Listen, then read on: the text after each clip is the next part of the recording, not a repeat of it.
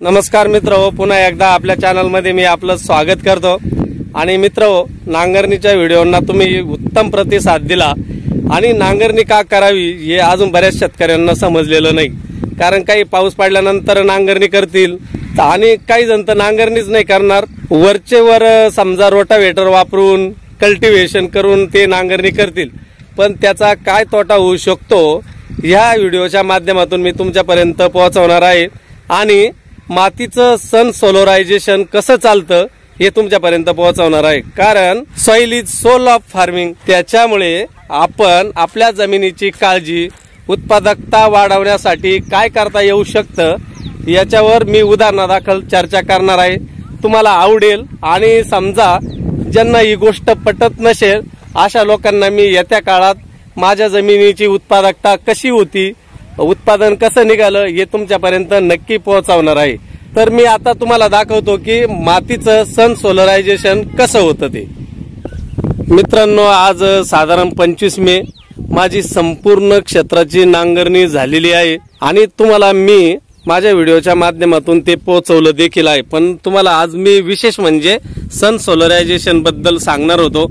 आणि ते तुम्हाला पटल्याशिवाय राहणार नाही. आता समजा मी नेटकंच दोन तीन दिवसापूर्वी जे क्षेत्र नांगरलेलं आहे त्याची ढेकळाची परिस्थिती बघा तर तुम्ही. तर असं जे आपण नांगरतो त्याचे ढेकळं कडक निघता आणि जितकं उशिरा आपण नांगरू पाऊस पडल्यानंतर तितकंच उशिरा याची विरघळण्याची प्रक्रिया सुरू होते. हे एक तुम्ही लक्षात घ्या.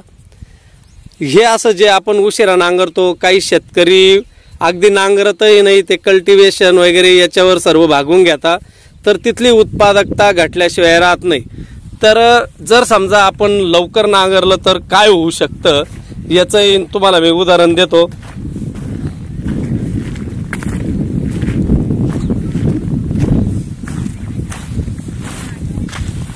तर मी हे याच्यापूर्वी नांगरलेलं क्षेत्र आहे आणि तुम्ही बघा की याची माती किती ढिल्ली झालेली आहे. ही माती जी ढिल्ली होण्याची जी प्रक्रिया आहे यालाच मातीचं सन सोलरायझेशन असं म्हणतात. यामुळे मातीतील अपायकारक घटकांचा नाश होतो. बुरशी नेमाटोड्स काही जीवाणू इत्यादी जे त्रासदायक आहेत त्यांचा नाश व्हायला मदत होते. आणि शिवाय प्रकाश व हवा खोलपर्यंत पोहोचून उपयुक्त जीवाणू किंवा मायक्रोरायझासारखे जे घटक आहेत त्याची खूप मोठ्या प्रमाणात वाढ होऊन आपल्या जमिनीची सुपीकता किंवा उत्पादकता वाढायला मदत होते. जेव्हा आपण पीक निघाल्यानंतर वेळच्या वेळी नांगरतो त्यावेळेस काय होतं? साधारणपणे डिसेंबर एंडिंगपासून जर नांगरायला सुरुवात झाली तर काहीतरी थोडा थंडीचाही प्रभाव या मातीवर पडतो. त्याच्यामुळे हिचं विकेंद्रीकरण व्हायला अजूनही मदत होते विरघळण्याला मदत होते. तर याच्यातला खरा फायदा काय आहे? आपल्या जमिनीतील ज्या हानिकारक बुरशी आहेत वेगवेगळे जे जीवाणू आहेत ते वाढायला मदत होते आणि त्रासदायक बुरशी थंडीने किंवा सन सोलरायझेशन हा जो मुद्दा मी आज घेतला आहे त्याच्यामुळे त्रासदायक बुरशी नष्ट व्हायला मदत होते जमीनही विरघळते.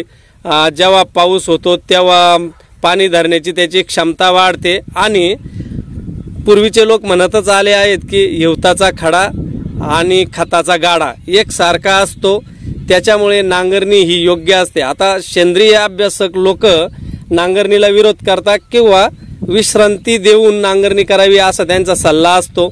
पण मी परंपरागत पद्धतीनं शेती करत असल्यामुळे मी नांगरणीला महत्त्व देतो आणि ते तुम्ही माझ्या व्हिडिओच्या माध्यमातून बऱ्याच वेळा अनुभवलंही असेल. मित्रांनो निसर्गाने आपल्याला भरभरून देणग्या दिलेल्या आहेत.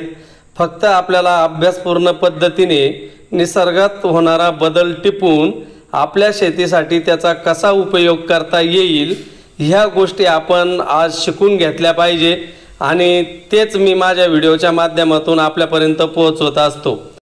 कधी कधी काय होतं मित्रांनो अति उष्णतेमुळे किंवा अति थंडीमुळे आपण संतापतो.